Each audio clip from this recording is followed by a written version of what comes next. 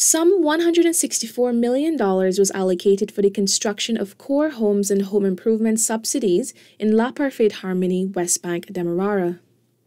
Minister of Housing and Water Collin Croal, Permanent Secretary Andrew Ally, and Chief Executive Officer of the Central Housing and Planning Authority, Sherwyn Greaves, facilitated the contract signing at the ministry's boardroom on Friday.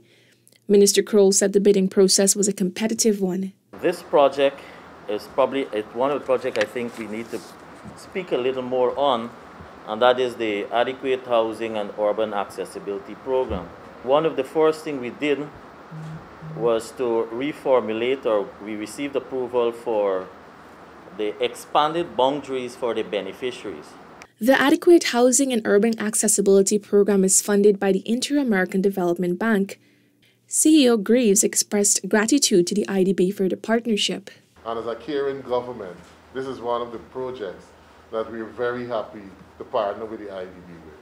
This is not a one-off event. There are more phases to this and much more benefit, persons will benefit going forward. The program will see the construction of 25 core homes at a cost of $4 million per home. Each home is designed to meet basic living standards, consisting of no less than 330 square feet. Additionally, some 118 persons will benefit from the 500,000 home improvement subsidy in the form of building materials.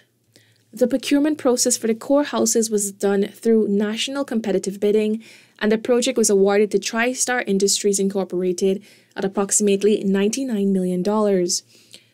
The home improvement subsidiaries were awarded to CEMAC's Procurement and Contracting Agency at the value of some $10.8 million and Mike and Daughters Lumberyard at the value of $54.2 million.